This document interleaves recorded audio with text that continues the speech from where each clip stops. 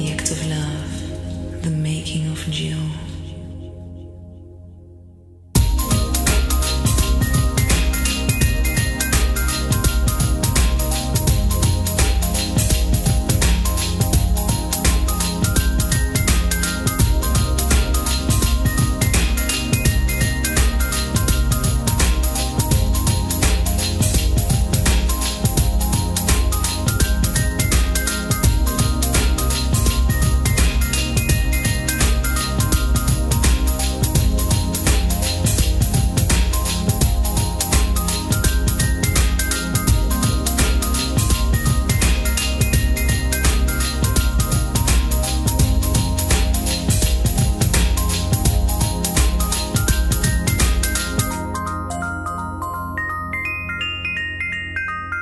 The act of love.